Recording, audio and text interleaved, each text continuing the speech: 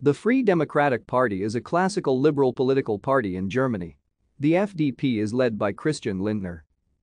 The FDP was founded in 1948 by members of former liberal political parties which existed in Germany before World War II, namely the German Democratic Party and the German People's Party.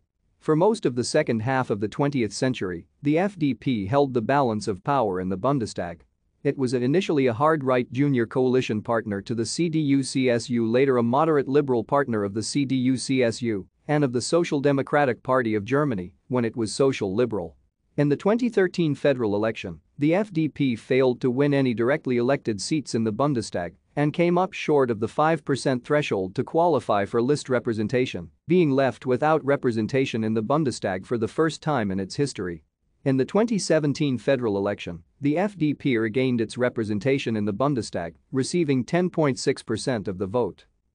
Since the 1980s, the party has pushed economic liberalism and has aligned itself closely to the promotion of free markets and privatization and is aligned to the center or center-right of the political spectrum. Thank you for watching.